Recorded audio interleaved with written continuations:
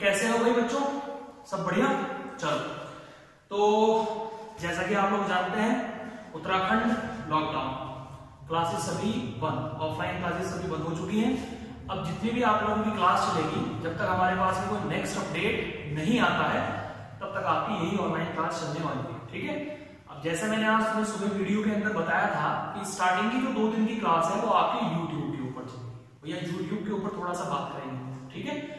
और दो दिन के बाद में जो हमारा ओवन प्लेटफॉर्म है ओवन हमारा प्लेयर नेक्स्ट प्लेयर जो है, उस पर हम आपको शिफ्ट कर देंगे और बाकी काम हम वहाँ करेंगे, बहुत बढ़िया तरीके से करेंगे, बहुत अच्छा अरेंजमेंट आप लोगों के लिए हम लोगों ने किया है। मज़ा आने वाला है, तुम लोगों को खूब दवा ठीक है? चलो, आज की क्लास हम लोग स्टार्ट करते हैं, ठीक है? मैं थोड़ा याद दे रहा हूँ आप लोगों को, अभी तक हम लोगों ने क्या क्या पढ़ा। एक तो हम लोगों ने यूनिट मेज़रमेंट एरर पढ़ लिया है, ठीक है? अच्छा यूनिट मेज़रमेंट एरर के बाद हम लोगों ने वेव ऑप्टिक्स पढ़ा सॉरी वेव पढ़ा है हम लोगों ने सिंपल हार्मोनिक मोशन और वेव का जो पोर्शन है वेव वाला पोर्शन अभी तक हम लोगों ने पढ़ा है। उस वेव के अंदर ऑलमोस्ट सारी बातें हम लोगों ने कवर अप कर ली है, सब हम लोगों ने पढ़ लिया है। लास्ट टॉपिक हम लोगों ने स्टैंडिंग वेव ऑर्गन पाइप इन सब की स्टडी की थी मैंने कुछ सवाल आप लोगों को करवाए थे, उम्मीद है आपको याद होंगे। आज हम अपने लास्ट टॉपिक के ऊपर आ जाते हैं बिल्कुल लास्ट टॉपिक हम लोगों को उसे हम लोग डिस्कस करेंगे। तो आज का जो हमारा टॉपिक है स्टूडेंट्स वो है डॉपलर इफ़ेक्ट और डॉपलर इफ़ेक्ट के साथ थोड़ा सा हम लोग बीड्स के बारे में भी जानते हैं। बीड्स क्या होती है? नंबर ऑफ़ बीट्स को किस तरीके से कैलकुलेट किया जाता है, ठीक है? करें स्टार्ट चलो, देखो। चलिए भैया, सबसे पहले जो हमारे पास में टॉपिक आने वाला है स्टूडेंट्स वो है डॉपलर इफ़ेक्ट ठीक है? अभी हम बात करने वाले हैं सबसे पहले डॉपलर इफ़ेक्ट के बारे में। डॉपलर इफ़ेक्ट ओके तो डॉपलर इफ़ेक्ट बेसिकली होता क्या है? देखो डॉपलर इफ़ेक्ट के अंदर तीन चीज़ें बड़ी मेन होती हैं, वो क्या क्या है मैं आपको नंबर वन सोर्स जिसके अंदर से साउंड की वेव प्रोपेगेट होती है, यानी निकलती है। नंबर टू ऑब्जर्वर यानी लिसनर जो साउंड को सुनता है, ठीक है? और नंबर तीन, जो सबसे इंपॉर्टेंट फैक्टर है, जिसके ऊपर सारा खेल दारोमदार है, ठीक है? उसे हम लोग बोलते हैं साउंड की स्पीड यानी साउंड ठीक है? तो तीन चीज़ें बड़ी इंपॉर्टेंट है हमारे लिए। अब मैं आपको बताता हूँ, जैसा कि अभी अगर हम बात करें मैं बोल रहा हूँ सो मैं सोर्स हूँ आप लोग सुन रहे हैं तो आप लोग लिसनर हैं। और मेरी जो साउंड प्रोपेगेट करके आ रही है, ये स्पीड भी काफ़ी इंपॉर्टेंट पार्ट इसके अंदर प्ले करने वाली है, ठीक है? अब डॉपलर इफ़ेक्ट कहता क्या है? देखिए डॉपलर इफ़ेक्ट ये कहता है कि अगर सोर्स यानी मैं लिसनर यानी आप लोग, अगर हम हम दोनों एक दूसरे के सामने हैं, और हमारे बीच में किसी तरीके का रिलेटिव मोशन होता है। रिलेटिव मोशन का होता है, मैं तुम्हारी तरफ़ बढ़ता हूँ या तुम मेरी तरफ़ बढ़ते हो, या हम दोनों एक दूसरे की तरफ़ अप्रोच करते हैं या एक दूसरे से हम दूर जाते हैं। तो उस कंडीशन में जितनी फ्रीक्वेंसी से, जिस फ्रीक्वेंसी से मैं बोलूँगा, उतनी फ्रीक्वेंसी तुम्हें कभी भी सुनाई नहीं देगी। जिस फ्रीक्वेंसी से मैं बोलूँगा, ये कहलाएगी रियल फ्रीक्वेंसी और जो फ्रीक्वेंसी आप लोगों को सुनाई देने वाली है, इस फ्रीक्वेंसी को हम कहेंगे apparent frequency so Doppler effect सही मायने में रियल फ्रीक्वेंसी और अपेरेंट फ्रीक्वेंसी के बीच में एक रिलेशन बनाता है। भैया, एक रिलेशन बनेगा डॉपलर इफ़ेक्ट की तरफ़। बस आज ये ठान लो कि भैया डॉपलर इफ़ेक्ट का सवाल हमें ज़रूर सॉल्व करना है। Doppler effect and beats important portion है। क्वेश्चन ज़रूर सॉल्व करना है मेंस के लिए भी और नीट के लिए भी। दोनों के लिए काफ़ी इंपॉर्टेंट है। चलिए स्टार्ट करते हैं, ठीक है? देखिए, सबसे पहले हम बात करते हैं स्टूडेंट्स भैया मान लेते हैं कि ये हमारे पास में है source okay source S next हम लोगों ने माना कि ये हमारे पास में है ऑब्जर्वर यानी लिसनर ठीक है? ये हमारे पास में लिसनर यानी ऑब्जर्वर है. ऑब्जर्वर ठीक? अच्छा साउंड की जो डायरेक्शन होती है, वो हमेशा सोर्स से निकलकर टुवर्ड्स द ऑब्जर्वर होती है स्टूडेंट साउंड हमेशा सोर्स से निकलकर ऑब्जर्वर की तरफ़ चलेगी. अच्छा भैया, हमेशा ध्यान रखना इस बात का। मैंने माना कि साउंड की जो स्पीड है वो स्मॉल वी है। सोर्स हमारा इस डायरेक्शन में मूव कर रहा है वी एस स्पीड से। ऑब्जर्वर हमारा इस डायरेक्शन में मूव कर रहा है वी स्पीड से। जो फ्रीक्वेंसी सोर्स के अंदर से निकलती है, यह है एफ़ और जो फ्रीक्वेंसी ऑब्जर्वर को सुनाई पड़ती है, यह है एफ़ डैश हमें दोनों के बीच में एक रिलेशन बनाना है कि जो हमारा ऑब्जर्वर है, ये कितनी फ्रीक्वेंसी सुन रहा होगा। एक बड़ा आसान और बढ़िया सा फॉर्मूला है जिसे हम लोग अप्लाई करने वाले हैं। देखिए फॉर्मूला क्या है? थोड़ा आप लोग ध्यान से देखिएगा। बच्चों फॉर्मूला है हमारे पास में F dash is equal to F देखिए ये तो लगाना ही लगाना है। हमेशा आप लोग ध्यान रखेंगे कि नीचे की तरफ़ आएगा सोर्स का data with respect to sound और ऊपर की तरफ़ आएगा ऑब्जर्वर का data with respect to sound आसान लैंग्वेज में अगर मैं आप लोगों से कहूँ तो आप लोग ये देखो v, यानी साउंड की स्पीड जो हमेशा ऑब्जर्वर की तरफ़ जाएगी। Vo यानी ऑब्जर्वर की स्पीड देखो दोनों की डायरेक्शन एक दूसरे के ऑपोजिट है। तो डायरेक्शन ऑपोजिट होने की वजह से जब हम रिलेटिव वेलोसिटी का कॉन्सेप्ट लगाएँगे तो ये बन जाएगा v v दोनों की डायरेक्शन अपोजिट हमें सवाल सॉल्व करना है यार, और कुछ नहीं करना फोकस करो। V v, ठीक है? नंबर अब आप देखो साउंड इस तरफ़ प्रोपेगेट कर रही है। और सोर्स भी हमारा इसी डायरेक्शन में जा रहा है, दोनों की डायरेक्शन सेम है तो नीचे की तरफ़ आ जाएगा v माइनस वी एस देखो, ये v है, ये वी एस दोनों की डायरेक्शन सेम तो माइनस ये v है, ये वी है दोनों की डायरेक्शन अपोजिट तो प्लस अब मेरी दो बातें आपको याद रखनी है। पहली बात, ऊपर ऑब्जर्वर आएगा नीचे सोर्स आएगा रिलेटिव स्पीड देखनी है साउंड की स्पीड के साथ। जैसे कि इन दोनों की डायरेक्शन अपोजिट तो प्लस इसकी और इसकी डायरेक्शन सेम तो माइनस इतनी फ्रीक्वेंसीज ऑब्जर्वर को सुनाई पड़ रही होगी। अब आप ये देखो डिनोमिनेटर में माइनस आ गया है। यानी ये वैल्यू छोटी बन गई है एफ़ के कंपैरिजन में। तो मैं ये कहूँगा कि जितनी फ्रीक्वेंसी इस ऑब्जर्वर को सुनाई पड़ रही होगी, वो आपकी ध्यान से मेरी बात सुनिएगा बिल्कुल गौर के साथ। अगर ये कम हो गया है तो ये ज़्यादा हो गया है। F dash is greater than of F यानी जो अपेरेंट फ्रीक्वेंसी होगी, ये हमारे रियल फ्रीक्वेंसी से ज़्यादा होगी स्टूडेंट ये बात आपको अच्छे से ध्यान रखनी है ओके चलिए, अभी हम लोग सेकंड कंडीशन के अंदर बढ़े आते हैं। देखो सेकंड कंडीशन क्या है हमारे पास में?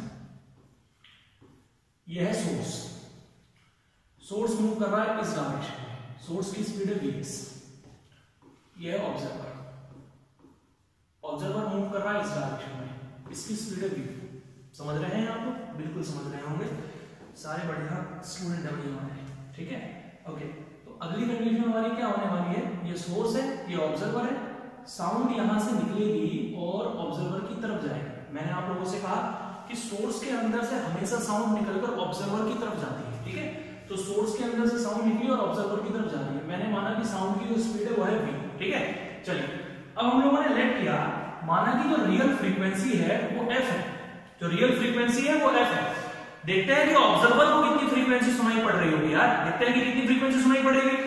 ऑब्जर्वर को जो फ्रीक्वेंसी सुनाई पड़ेगी, उसे हम नाम देंगे F dash F dash means apparent frequency तो देखते हैं अपेरेंट फ्रीक्वेंसी कितनी होगी. सो हम लोग लिखने वाले हैं F dash is equal to F F dash is equal to F upon में देखते हैं कि क्या आने वाला है. मैंने आपसे कहा था कि अपॉन में रहेगा सोर्स का डेटा ऊपर रहेगा ऑब्जर्वर का डेटा आसान लैंग्वेज में समझने का प्रयास करिए. V इस डायरेक्शन में vs इस डायरेक्शन में. दोनों की direction same so v minus V S okay अब आ जाते हैं ऊपर की तरफ़। न्यूमरेटर की तरफ़ आ जाते हैं। V एंड v, दोनों की डायरेक्शन अगर दोनों की डायरेक्शन सेम है तो डेफिनेटली माइनस आएगा। जैसे नीचे किया। तो ऊपर आ जाएगा v माइनस वी तो ये कंडीशन हमारी बनने वाली है। इतनी फ्रीक्वेंसी इस सिचुएशन में इस ऑब्जर्वर को सुनाई पड़ रही होगी। अभी तक मैंने आपके सामने डॉपलर इफ़ेक्ट की मात्र दो कंडीशंस बनाई हैं। आपके सामने है, आप इन्हें अच्छे तरीके से समझ सकते हैं, ठीक है? याद करना है फोकस करना है, रटना नहीं है बिल्कुल भी, ठीक है? ओके नेक्स्ट चलिए, बढ़ते हैं आगे. सिचुएशन नंबर तीन. देखो थर्ड सिचुएशन क्या है हमारे पास? तीसरी सिचुएशन क्या है? थोड़ा डार्क करते हैं मज़ा नहीं आ रहा है. भले मेरी शक्ल ना दिखाई दे तुम्हें, लेकिन तुम लोगों को समझना आना चाहिए. नंबर तीन पर आते हैं. ठीक है? नंबर तीन सिचुएशन क्या है? ये रहा हमारे पास में सोर्स माना कि सोर्स मूव कर रहा है इस डायरेक्शन में? वीएस स्पीड से. ठीक है? हम लोगों ने माना कि यहाँ कहीं को है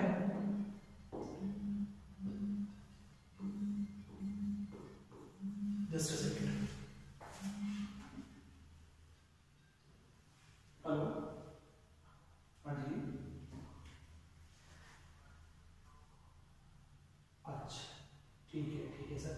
sir registration के इंस्टीट्यूट पे आना पड़ेगा या ऑनलाइन कराना पड़ेगा सर तो आप एक काम करिए, आप, मैं आपको एक नंबर भेजता हूँ, आप उस पर पेटीएम से अपनी फ़ीस ट्रांसफ़र कर सकते हैं मतलब जो रजिस्ट्रेशन चार्जेज हैं। और बाकी काम हम लोग यहाँ से कर देंगे, बाकी नाइन्टी परसेंट हम आपको देंगे ठीक है सर आपके नंबर पर व्हाट्सएप है सी तो आप एक काम करिएगा जो मेरे नंबर में आपने जहाँ डबल एट लगाया है ना वहाँ डबल टू लगा दीजिए बस अच्छा अच्छा क्या नाम है सर बच्चे का ओहो होशियार होशियार की बात कर रहे हैं आप ठीक है आपके पड़ोसी नहीं हमारे सामने अच्छा अच्छा अच्छा। ठीक है, कोई बात नहीं ठीक है? सॉरी सर डबल एट की जगह डबल टू करना है sir ji sir okay sir so वापस आ जाते हैं भैया ये हमारा सोर्स हो गया इस डायरेक्शन में मूव कर रहा है। साउंड की स्पीड इस तरफ़ है ये ऑब्जर्वर है माना कि ऑब्जर्वर इधर मूव कर रहा है वीओ स्पीड से ठीक है? सो so, हम लोगों ने लेट किया कि यहाँ से जो फ्रीक्वेंसी निकलती है वो है एफ़ और जो फ्रीक्वेंसी से सुनाई पड़ती है वो है F dash so F dash की वैल्यू हम लोग देखते हैं कि कितनी हो रही है। देखिए एफ़ डैश हमारा रहने वाला है F dash is equal to F भैया ये तो आना ही आना है बड़ा इजी है कुछ नहीं करना बहुत मुश्किल मुश्किल बिल्कुल नहीं है आसान सा काम है। देखो इन दोनों की डायरेक्शन अपोजिट है। साउंड इस तरफ़ साउंड तो हमेशा यार ऑब्जर्वर की तरफ़ ही जाएगी। सोर्स पीछे भाग रहा है, दोनों की डायरेक्शन अपोजिट है तो यहाँ जाएगा v प्लस वी एस इसकी और इसकी डायरेक्शन सेम है तो यहाँ जाएगा v माइनस के व्यू इस तरीके से प्रॉब्लम को हमें सॉल्व करना है। तो उम्मीद है कि चार एग्जांपल से या दो एग्जांपल से या तीन एग्जांपल से आपको बात समझ में आई होगी कि same direction minus opposite direction plus vo is the speed of observer vs is the speed of source f हो गई है रियल फ्रीक्वेंसी f डैश हो गई है अपीयरेंट फ्रीक्वेंसी ये बात आप ध्यान रखेंगे। नंबर चार कंडीशन पे हम लोग आ जाते हैं। देखिए नंबर चार कंडीशन पे क्या है? ये हमारे पास में लिसनर है, सुनने वाला, ठीक है? माना कि सुनने वाले की स्पीड इस डायरेक्शन में है और यह है व्यू इस बार हमारा जो सोर्स है, जो कुछ इस तरीके से है, और सोर्स हमारा मूव कर रहा है इस डायरेक्शन में vs स्पीड से, ठीक है? ये कंडीशन सोर्स हमारा ऊपर जा रहा है ऑब्जर्वर हमारा कुछ इस तरीके से आ रहा है, ठीक है? हमें गौर करना है कि क्या कंडीशन क्या सिचुएशन हमारी रहने वाली है इसके ऊपर सो अगर मैं इन दोनों को ज्वाइन करा दूँ, ऐसे मैंने दोनों को ज्वाइन करा दिया, ठीक है? तो हम लोग देखते हैं कि क्या सिचुएशन होगी। देखो vs ऊपर है vo इधर है, सबसे पहली बात। ये सोर्स है, वो ऑब्जर्वर है साउंड हमेशा सोर्स से निकलकर ऑब्जर्वर की तरफ़ जाएगी। यानी साउंड की जो डायरेक्शन रहने वाली है स्टूडेंट्स साउंड की डायरेक्शन ये हमारी रहने वाली है। साउंड इस डायरेक्शन में जाने वाली है? ऑब्जर्वर इधर आ रहा है साउंड इस डायरेक्शन में जाएगी। साउंड हमेशा टुवर्ड्स द ऑब्जर्वर है, भैया याद रखना है, बोलना नहीं है बिल्कुल भी साउंड हमेशा टुवर्ड्स द ऑब्जर्वर है। ठीक है? चलिए आ जाते हैं। F dash is equal to f अब देखते हैं नीचे की तरफ़ क्या आने वाला है। देखो साउंड जा रही है हमारी इस तरफ़। जा रही है ना? Vs कहाँ जा रहा है हमारा? Vs जा रहा है ऊपर की तरफ़। ठीक है? तो हमने एक काम किया, ये vs है, ये इस तरफ़ हमारी साउंड की स्पीड है v अगर मैं vs का इसके डायरेक्शन में कंपोनेंट ब्रेक करूँ तो ये वाला एंगल 90 डिग्री है। आप लोग ध्यान से देखिए, ये वाला जो एंगल है, ये हमारा 90 डिग्री है। ये जो एंगल है हमारे पास में, ये एंगल हमारे पास में 90 डिग्री है। अगर ये एंगल 90 डिग्री है तो vs का अगर मैं कंपोनेंट ब्रेक करूँगा तो ये चला जाएगा vs cos 90 vs cos 90 हमने कंपोनेंट ब्रेक किया तो कंपोनेंट चला गया vs cos 90 ठीक है? अब उसके बाद देखिए सिचुएशन क्या होने वाली है। उसके बाद क्या सिचुएशन होने वाली है? इधर v इधर v cos 90 दोनों की डायरेक्शन सेम तो ये हो गया v minus V S cos 90 okay इसके बाद, देखो vo इधर है और v इधर है, ध्यान से। साउंड इस तरफ़ है v और vo इसकी अपोजिट डायरेक्शन में इधर। दोनों की डायरेक्शन अगर अपोजिट है तो ऊपर की तरफ़ आ जाएगा v plus V v plus V cos 90 की वैल्यू ज़ीरो रहने वाली है। यहाँ ज़ीरो पुट करेंगे। सो फ्रीक्वेंसी बनेगी हमारे पास में, f dash is equal to f, v plus vo और नीचे रह जाएगा सिर्फ़ v इतनी फ्रीक्वेंसी इस कंडीशन में, इस ऑब्जर्वर को सुनाई पड़ रही होगी। ये बात आपको अच्छे तरीके से याद रखनी है, ठीक है? जैसे हम अगली सिचुएशन में पहुँच जाते हैं, आपको समझ आएगी बात। देखिए नेक्स्ट सिचुएशन क्या है हमारे पास में? मान लेते हैं, एक सोर्स सर्कुलर पाथ पर मूव कर रहा है कुछ इस तरीके से स्टूडेंट ऐसे। ये सोर्स की डायरेक्शन है इस तरीके से मूव कर रहा है सोर्स और हमारे पास में जो ऑब्जर्वर है, वो यहाँ स्टैंडिंग पोजीशन में है। ऑब्जर्वर यहाँ है। ऑब्जर्वर रेस्ट में है। हम ये मान लेते हैं कि रुका हुआ है ऑब्जर्वर सोर्स ऐसे सर्कुलर पाथ पर मूव कर रहा है। तो यहाँ से जो फ्रीक्वेंसी निकलेगी, वो होगी एफ़ और जो फ्रीक्वेंसी से सुनाई पड़ने वाली है, ये होगी एफ़ डैश हमें देखना है कि एफ़ डैश की वैल्यू कितनी होगी। तो ध्यान दीजिए भैया, सबसे पहला काम क्या है? साउंड हमेशा सोर्स से निकलकर ऑब्जर्वर की तरफ़ भागेगी साउंड सोर्स से निकलेगी ऑब्जर्वर की तरफ़ जाएगी ऐसे। लीजिए ये साउंड की स्पीड है वी ओके अब वीएस इधर है वी इधर है। हमें वीएस का कंपोनेंट वी की डायरेक्शन में चाहिए। कैसे बनाएँगे देखो यार। ये वीएस हमारा इधर है। कंपोनेंट मुझे इधर चाहिए। ये वाला एंगल 90 डिग्री है। तो ये हो जाएगा V S cos ninety V O हमारे पास में है नहीं वीओ की वैल्यू है ज़ीरो तो आप देखो फ्रीक्वेंसी रहेगी F dash is equal to F upon नीचे आने वाला है सोर्स ऊपर आने वाला है ऑब्जर्वर तो देखो, v इधर जा रहा है, इधर, और v cos 90 भी इधर जा रहा है तो ये हो जाएगा डायरेक्शन सेम होने की वजह से v minus S cos 90 vo zero है तो vo को हम ले नहीं सकते हैं, ऊपर बचेगा सिर्फ़ v.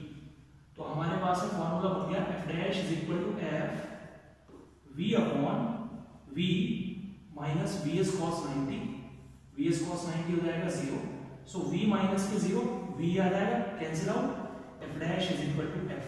Important point है आप लोग ध्यान रखेंगे क्वेश्चन बन जाता है इसके ऊपर. अगर कोई सोर्स सर्कुलर पाथ पर घूम रहा है, कुछ इस तरीके से। अगर कोई सोर्स सर्कुलर पाथ पर घूम रहा है, और कोई मैन कोई लिसनर कोई ऑब्जर्वर सेंटर में स्टैंडिंग पोजीशन में है तो जितनी फ्रीक्वेंसी यहाँ से निकलेगी, बिल्कुल इतनी ही फ्रीक्वेंसी से सुनाई पड़ेगी। F dash is equal to F कोई डिफरेंस नहीं होगा, दोनों की फ्रीक्वेंसी बराबर होगी ओके चलिए, आगे बात करते हैं हम लोग। देखिए नेक्स्ट कंडीशन क्या है हमारे पास में? अगली सिचुएशन पे हम लोग आते हैं। नेक्स्ट सिचुएशन क्या है? मान लेते हैं ये सर्कुलर पाथ हम लोगों को गिवन दिया है। एक सोर्स यहाँ पर है। सोर्स की स्पीड है वीएस ओके सोर्स की स्पीड है वीएस ऑब्जर्वर हमारा यहाँ इस पॉइंट पर स्टैंडिंग पोजीशन में है, ठीक है? मान लेते हैं कि भैया ऑब्जर्वर की जो स्पीड है वो है वी ठीक? सोर्स यहाँ है this is the position of source observer यहाँ है, ठीक है?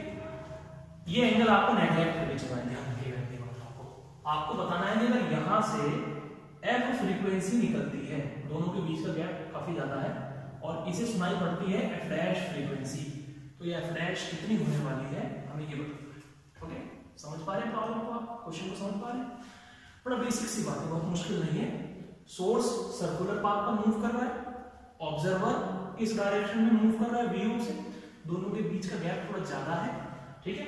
यहाँ से एफ़ फ्रीक्वेंसी निकलती है, उसे एफ़ डैश सुनाई पड़ती है। आपको ये बताना है कि एफ़ डैश की वैल्यू क्या होगी। चलिए स्टार्ट करते हैं।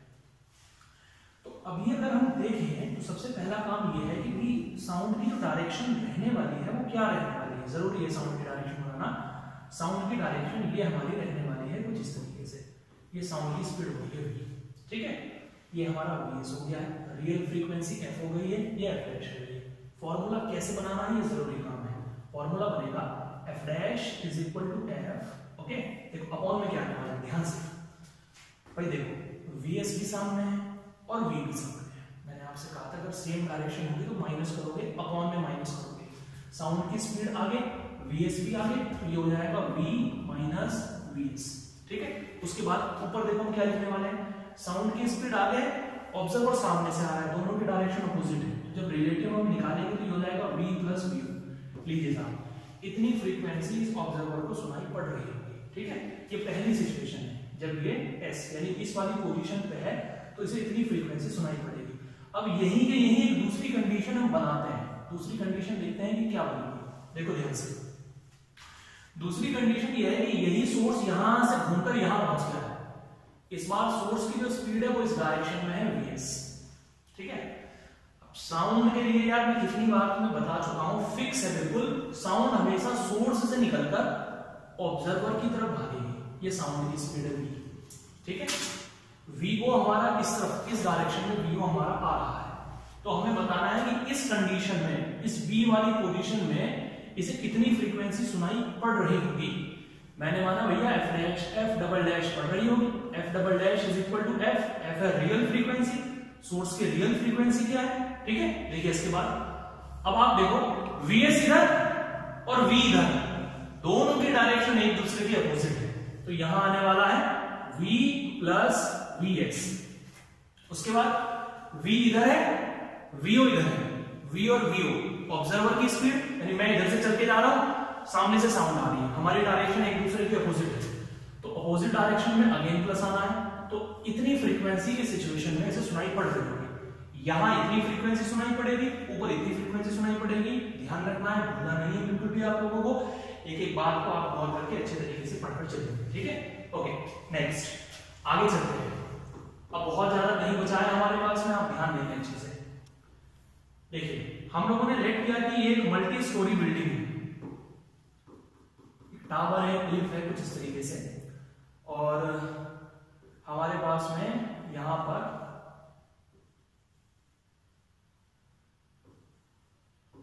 एक व्हीकल है कुछ इस तरीके से। ठीक है? हम लोगों ने लेट किया यहाँ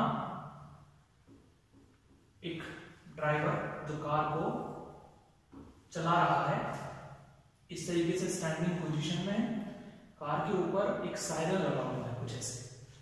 सायरन के अंदर से साउंड प्रोपेगेट होती है, ठीक है? वी की स्पीड से। कार की स्पीड जो हमें दे रखी है वो है वी सी साउंड जाती है, सामने वाली दीवार से टकराती है, टकराने के बाद में वापस आ जाती है, बिल्कुल उतनी ही स्पीड तो हमें ये बताना है कि जब टकराने के बाद में दोबारा साउंड इसके पास लौट कर आएगी तो इसे कितनी फ्रीक्वेंसी सुनाई पड़ने वाली है, ठीक है? देखिए प्रॉब्लम बहुत ही बढ़िया है। आईआईटी जेई 2011 के अंदर एग्ज़ाम में पूछी गई थी। बहुत ही अच्छी प्रॉब्लम है। काफ़ी कॉन्सेप्ट आपका इस प्रॉब्लम को लेकर क्लियर हो जाएगा, ठीक है? चलिए, हमें कुछ नहीं करना यार। हमें जो पढ़ रखा है ना, उसी कॉन्सेप्ट के अकॉर्डिंग हम लोगों को चलना है और कुछ नहीं करना है हम लोगों को। देखो कैसे करने वाले हैं। So F dash is equal to F सबसे पहले बात करते हैं सोर्स की। सोर्स का मतलब है कि जब साउंड इसके अंदर से निकली थी, देखो, जब साउंड इसके अंदर से निकली थी कार आगे आ रही है।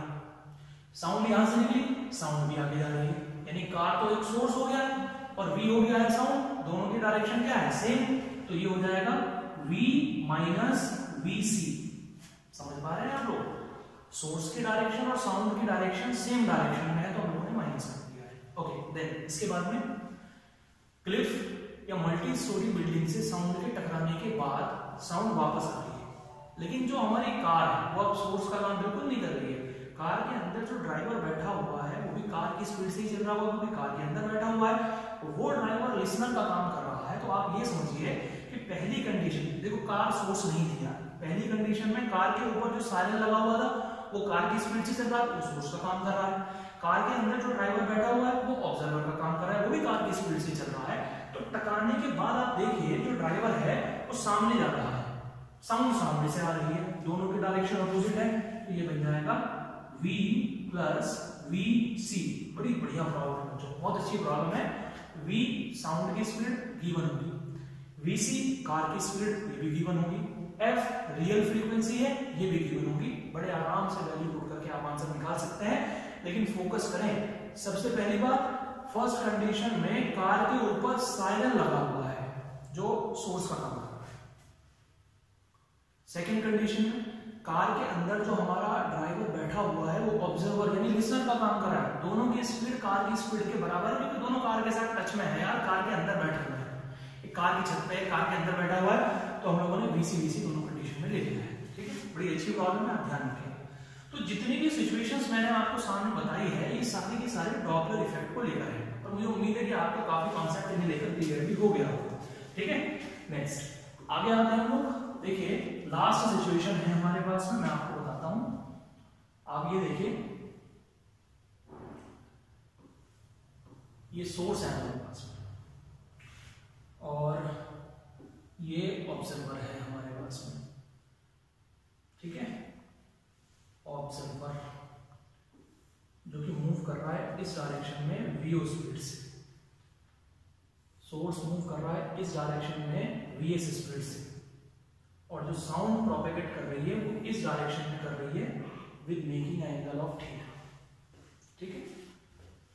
माना कि रियल फ्रीक्वेंसी यहाँ से एफ़ निकलती है तो इसे कितनी फ्रीक्वेंसी सुनाई पड़ेगी हमें ये बताओ बड़ा इजी है बहुत आसान है, कुछ नहीं करना है, बहुत ही आसान सा देखो कैसे करेंगे सबसे पहला, सबसे पहली बात क्या है?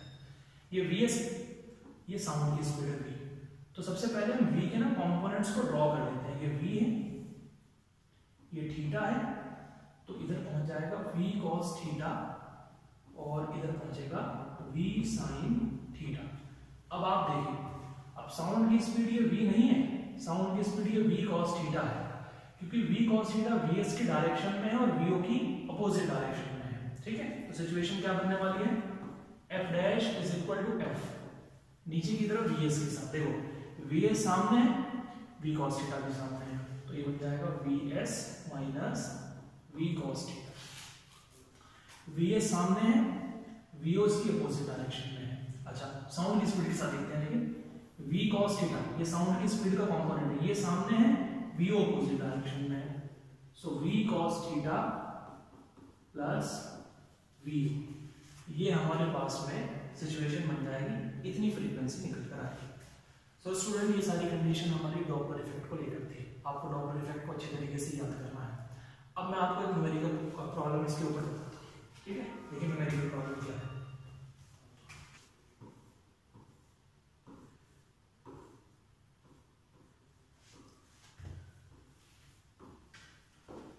स्टूडेंट वापस आते हैं भैया। देखिए।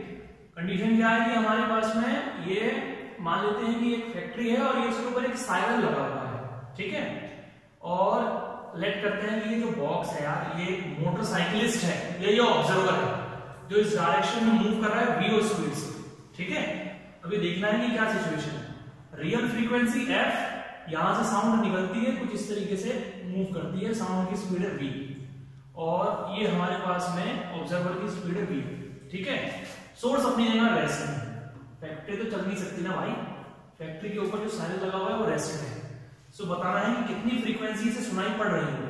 कितनी फ्रीक्वेंसी से सुनाई पड़ रही होगी? F dash is equal to F देखो, नीचे वी एस आता है, लेकिन वी एस तो रेस्ट में है। सोर्स की स्पीड कितनी है? ज़ीरो है। सिर्फ़ साउंड की स्पीड हम लोग यहाँ लेंगे। वी वी एस नहीं दे सकते हैं। जोड़ेंगे तब भी आएगा माइनस करेंगे तब भी आएगा। अब v और vo की डायरेक्शन एक दूसरे के अपोजिट है तो आ जाएगा v माइनस vo ठीक है? अब बहुत चिंता आप करने वाली बात बिल्कुल नहीं है वैल्यूज़ पुट करनी है प्रॉब्लम बन जाएगी आपका आंसर आ जाएगा। सो so, इसके साथ हमारा डॉपलर इफ़ेक्ट का टॉपिक कंप्लीट हो गया है। अब डॉपलर इफ़ेक्ट के बाद में ना लास्ट टॉपिक हमारे पास में आता है हम उसकी बात कर लेते हैं। लास्ट टॉपिक है हमारा beats number of beats number of beats कैसे फाइंड आउट की जाएँगे? इंपॉर्टेंट टॉपिक है। स्पेशली नीट स्टूडेंट्स के लिए इंपॉर्टेंट है क्योंकि क्वेश्चन इससे बनते रहते हैं। पहले मैं आपको बीट्स के बारे में बताता हूँ, देखो बीट्स क्या होती है। जब दो साउंड वेव अपोजिट डायरेक्शन से आकर, या सेम डायरेक्शन से आकर सुपर इंपोज करती हैं तो सुपर इंपोज करने के बाद में साउंड की इंटेंसिटी एक बार अप एक बार डाउन एक बार अप एक बार डाउन यानी साउंड कॉन्स्टेंटली नहीं आती। साउंड यूनिफॉर्मली नहीं आती है। साउंड की स्पीड यानी साउंड की जो लाउडनेस है, वो फ्लक्चुएशन करना स्टार्ट कर देती है। तो अप और डाउन को मिलाकर एक बीट तैयार होती है। तो ये तो हो गई बीट की डेफिनेशन लेकिन नंबर ऑफ़ बीट्स को फाइंड आउट कैसे किया जाएगा, ये हम लोगों को देखना है कि बीट्स निकाली कैसे जाएँगे. मैं आपको कुछ एग्जांपल्स बताता हूँ, आपको बात समझ में आएगी ठीक है? देखिए, जैसे कि आप पहला एग्ज़ाम्पल देखिए, बड़े बेसिक लेवल से स्टार्ट कर रहा हूँ स्टूडेंट आप ध्यान दीजिएगा. एक सोर्स है जिसकी फ्रीक्वेंसी है 200 हर्ट्ज दूसरा सोर्स है, ध्यान से थोड़ा जिसकी फ्रीक्वेंसी है 210 हर्ट्ज ठीक है? अब हमारे पास में आता है 210 नहीं लेते हैं यार, कुछ और लेते हैं। 210 लेकिन हम लेते हैं 215 हर्ट्ज ठीक है? तो हमारे पास में आता है, आपको बताना है number of beats produced number of beats observe दो चीज़ें आती हैं students number of beats produced and number of beats observe एक बात मैं क्लियरली आपको बताता हूँ ऑब्ज़र्व का मतलब यह है कि हमारा दिमाग कितनी बीट्स को पहचान कर सकता है, कितनी बीट्स को पढ़ सकता है। लॉजिक के मुताबिक हमारा माइंड मैक्सिमम से मैक्सिमम एक सेकंड के अंदर 10 बीट की ही पहचान कर सकता है। तो अगर बीट्स का नंबर 10 से ज़्यादा आ जाता है तो प्रोड्यूस तो उतनी होंगी जितना आप निकालेंगे, लेकिन ऑब्ज़र्व हमेशा कैसे क्या तो 10 होंगी या 10 से कम होंगी। ये बात आपको अच्छे तरीके से याद रखनी है। जैसे पहले सोर्स की फ्रीक्वेंसी 200 हर्ट्ज दूसरे सोर्स की फ्रीक्वेंसी 215 हर्ट्ज अगर मुझे बीट्स निकालनी है तो मुझे इनका डिफरेंस देखना पड़ेगा डिफरेंस कितना है। ये 200 है, ये 215 है। अगर मैं कैलकुलेट करूँ तो आंसर बनेगा number of beats produced 15 hertz या मैं ये कह सकता हूँ कि 15 बीट पर सेकंड बन रही है। 15 बीट पर सेकंड प्रोड्यूस हो रही है। ऑब्ज़र्व कितनी होंगी? मैंने भी बताया। 10 से ज़्यादा हमारा दिमाग ऑब्ज़र्व नहीं कर सकता है। यहाँ कितनी हो रही है 15 15 को तो ऑब्ज़र्व भी नहीं कर पाएगा। आंसर कितना आएगा?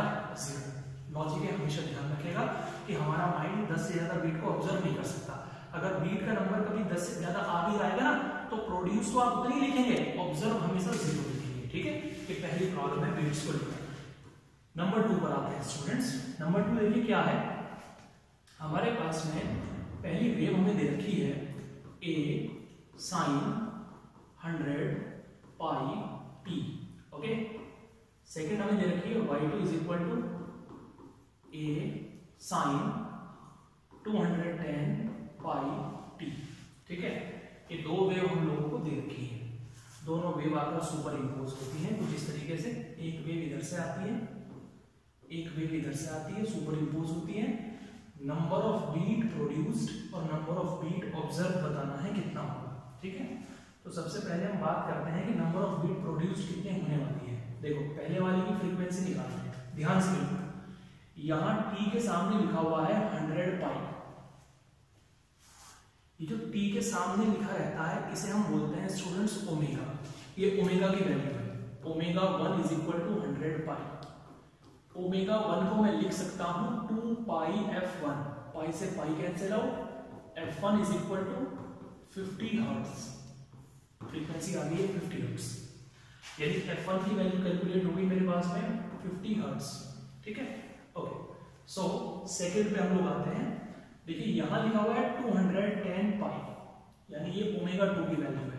Omega two is equal to two hundred ten pi omega two को मैं लिख सकता हूँ two pi F two two hundred pi two hundred ten pi cancel out so F two is equal to one zero five hertz समझ पा रहे ना मैं क्या कह रहा हूँ? F2 की वैल्यू आ गई 105 हर्ट्ज यानी पहली फ्रीक्वेंसी हमारे पास में 50 है और दूसरी फ्रीक्वेंसी हमारे पास में 150 hertz 105 hertz sorry number of beats produced बतानी है कितनी होगी। बड़ा आसान है, दोनों फ्रीक्वेंसी का डिफरेंस बताओ कितना होगा। एक 50 है, एक 105 है। माइनस करेंगे तो कितना आएगा? 55 बीट पर सेकंड अभी क्या बताया मैंने आपको? हमारा माइंड कितनी बीट्स को ऑब्ज़र्व कर सकता है? मैक्सिमम 10 यहाँ कितना आ रहा है? 55 कर पाएगा? बिल्कुल नहीं कर पाएगा। So number of beat observe number of beats observe is equal to zero number of beats produced यानी आप ये समझिए कि 55 55 टाइम्स साउंड ऊपर नीचे ऊपर नीचे ऊपर नीचे। 55 टाइम्स हमारी जो साउंड की वेव है, वो फ्लक्चुएट कर रही है।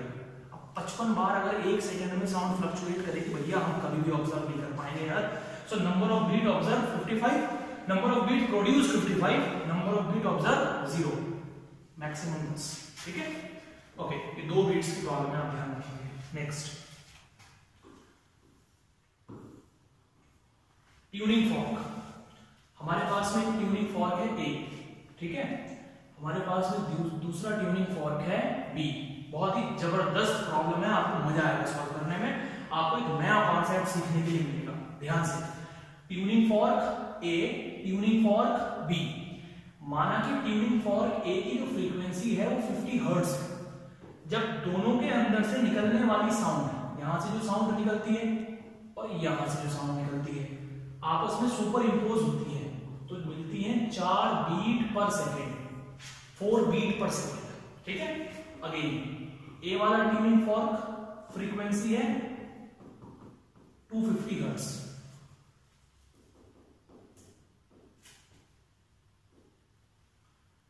इस बार फ्रीक्वेंसी है स्टूडेंट्स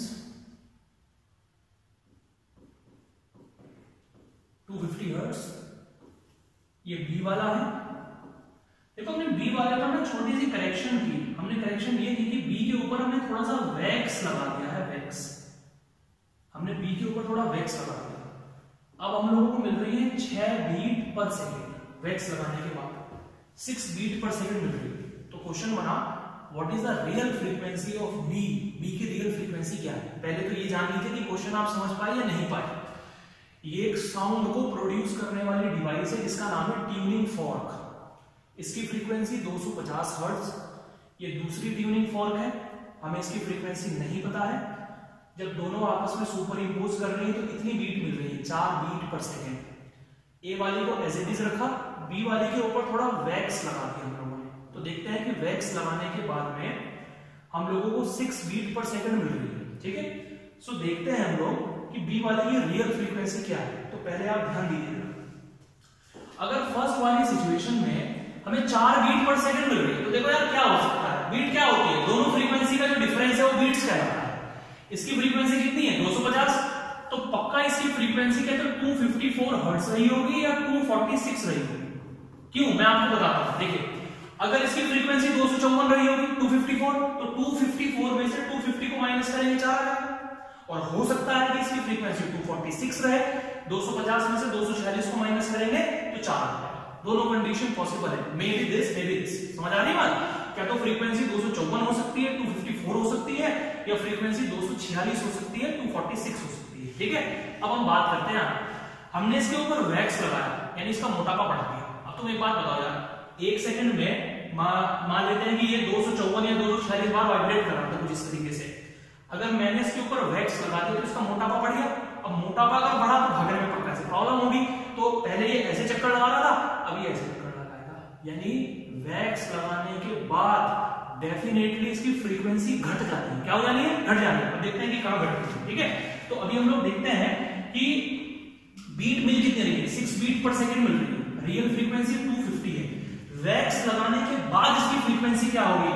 टू फिफ्टी में सिक्स एड कर। दो क्या तो 256 होगी? समझ रहे हैं स्टूडेंट्स क्या तो 256 होगी? या 250 में से 6 माइनस करेंगे 244 हर्ट्ज होगी। क्या तो इतनी होगी या इतनी? होगी ध्यान दीजिएगा क्या तो 256 होनी है या 244 होनी है? अब आप एक बात देखिए। मान लेते हैं कि इसकी रियल फ्रीक्वेंसी 254 थी। मान लेते हैं कि इसकी रियल फ्रीक्वेंसी 254 थी। वैक्स लगाने के बाद अब कितनी हो गई है? 256 बढ़ गई है भैया। पहले दो थी अब दो सौ छप्पन है। बढ़ रही नहीं है यार, मोटापा। मोटापा जब बढ़ेगा तो फ्रीक्वेंसी घटनी है। बढ़ी नहीं है फ्रीक्वेंसी बिल्कुल ठीक है? पहले कितनी थी? 254 अब कितनी हो गई 256 सो ये आंसर कभी करेक्ट नहीं हो सकता। या हो सकता है? कभी नहीं हो सकता है। सेकंड वाले पे आते हैं। यहाँ फ्रीक्वेंसी कितनी है? 246 ठीक है? वैक्स लगाने के बाद कितनी हो गई 244 डिक्रीज हो गई हो। गई है ना decrease so correct answer is 246 hertz यानी ट्यूनिंग फॉर्क की जो करेक्ट फ्रीक्वेंसी है हमारी, वो 246 हर्ट्ज है। ठीक है? एक और प्रॉब्लम हम इसकी जैसे बनाते हैं, आपको समझ आएगा। देखिए। जैसे कि एक ट्यूनिंग फॉर्क है हमारे पास में ए इसकी फ्रीक्वेंसी फॉर एग्जांपल 100 हर्ट्ज दूसरा ट्यूनिंग फॉर्क है बी इसकी जो फ्रीक्वेंसी वो हमें पता नहीं है। हमने मान लिया कि हमें मिल रही है दो बीट पर सेकेंड ए वाले के साथ हमने कोई छेड़छाड़ नहीं की। पहले भी फ्रीक्वेंसी 100 हर्ट्ज थी, अब भी फ्रीक्वेंसी 100 हर्ट्ज है। हाँ भैया बी वाले के साथ हमने ज़रूर छेड़छाड़ की है। बी वाले के ऊपर हमने थोड़ा सा वैक्स लगा दिया है। अब भैया वैक्स लगाया तो क्या हुआ? वैक्स लगाया तो इसका मोटापा बढ़ा, ये मोटा हो गया। और अगर ये मोटा हुआ तो इसकी फ्रीक्वेंसी डेफिनेटली कम होगी। क्या होगी? कम। तो हमें देखना है कि किसमें फ्रीक्वेंसी कम होगी। उसने ये कहा कि भैया, ऐसा है कि मोटापा बढ़ने के बाद, यानी ऐसी सिचुएशन में पहुँचने के बाद में पाँच बीट पर सेकेंड मिल रही है। पहले कितनी मिल रही थी? दो बीट। अब कितनी मिल रही है? Five beat per second. So देखते हैं कि करेक्ट कंडीशन क्या होगी। सो बी वाले की क्या क्या फ्रीक्वेंसी पॉसिबल हो सकती है? ये हमें देखनी है। ये हंड्रेड है, ये दो है। अरे भैया, क्या तो हंड्रेड में दो को ऐड कर दो। एक बार तो माइनस कर दो। क्या तो 102 हर्ट्ज होगी या 98 हर्ट्ज होगी? 102 होगी या 98, एक बार जोड़ दिया, एक बार माइनस कर दिया, इसमें से, उसमें से इसे माइनस करेंगे, दो आएगा, इसमें से इसे माइनस करेंगे, दो आएगा। क्या तो 102 होगी या 98 ठीक है? ओके नेक्स्ट अब नीचे आया वैक्स वाला फ्रीक्वेंसी डिक्रीज होगी 100 हर्ट्ज कितनी बीट मिल रही है? पाँच, एक बार ऐड कर दो। 105 हर्ट्ज एक बार माइनस कर दो। 95 हर्ट्ज देखो, मैं अगर मानूं कि रियल फ्रीक्वेंसी 102 थी। तो वैक्स लगाने के बाद कितनी हो? गई है 105 भैया मोटापा बढ़ा तो कैसे ज़्यादा जल्दी चक्कर मारेगा? नहीं मारेगा यार। अगर इसका वेट बढ़ गया वैक्स लगा दिया तो वेट बढ़ गया ना, तेज़ी से चक्कर थोड़ी लगाएगा धीरे धीरे चक्कर लगाएगा तो बढ़ कभी नहीं सकती है। तो ये आंसर कभी नहीं हो सकता। सेकंड में आता है, अगर मैं 98 मानूं तो अब कितना हो गया है? 95 फ्रीक्वेंसी क्या हो गई है? डिक्रीज हो गई है। So correct frequency is 98 wax लगाने से पहले और वैक्स लगाने के बाद क्या है? 95 हर्ट्ज ठीक है? इस तरीके से हमें प्रॉब्लम्स को सॉल्व करना है। स्टूडेंट्स ये हमारी बीट्स की प्रॉब्लम है। तो आगे से हम लोगों को ये बात अच्छे तरीके से याद रखनी है कि बीट्स और कुछ नहीं है। Number of beats is equal to change in frequency F2 minus के F1 ये बात आपको अच्छे तरीके से याद रखनी है और कुछ नहीं है, ठीक है? ठीक है स्टूडेंट्स तो आज हमने बात की डॉपलर इफ़ेक्ट की और बीड्स की। ठीक है ना? तो ऑलमोस्ट हमारा वेव का काम कंप्लीट हो गया है और अगली क्लास जो हमारी नेक्स्ट यानी कल की क्लास है, उसमें हम लोग स्टार्ट करने वाले हैं सिंपल हार्मोनिक मोशन ठीक है? सिंपल हार्मोनिक मोशन हमारे लिए बड़ा इंपॉर्टेंट चैप्टर है बच्चों, और बहुत आसान भी है। अगर आप लोग ध्यान से समझ के चलेंगे ना, बड़ा इजी है, बहुत आसानी से आप लोग उसे समझ सकते हैं, ठीक है? तो वेव हमारा कंप्लीट हो चुका है, अब आपको सिंपल हार्मोनिक मोशन पढ़ना है। मैं आपको ऑलरेडी बता चुका हूँ, एक बार और दोहरा देता हूँ कि दो दिन आपकी क्लास यूट्यूब पर ही चलेगी, ठीक है? आप यूट्यूब के ऊपर थोड़ी सी प्रॉब्लम हो सकता है कि आप लोगों को हो, लेकिन उसके बाद में सब काम हैबिचुअल हो जाएगा। आफ्टर टू डेज़ हम आपको शिफ्ट कर देंगे अपने प्लेटफॉर्म के ऊपर। वहाँ बहुत अच्छे से आपकी स्मूथली क्लास चलेगी। डीपीपीस भी आपको वहाँ पर मिलेंगी डेली प्रैक्टिस प्रॉब्लम टेस्ट भी आपका होगा, और आप अपने डाउट्स को टीचर्स के साथ में क्लियर भी कर सकते हैं, ठीक है ना? सभी चीज़ें वहाँ पर मेंशन रहेगी। अच्छा जो नए स्टूडेंट से रजिस्ट्रेशन कराना चाहते हैं, वो ऑफ़िस में संपर्क करें ऑफ़िस में कॉन्टेक्ट करें, या आप रजिस्ट्रेशन की जो फ़ीस है, वो वाया पेटीएम या गूगल पे के ज़रिए भी हम लोगों को भेज सकते हैं। ठीक है? Thank you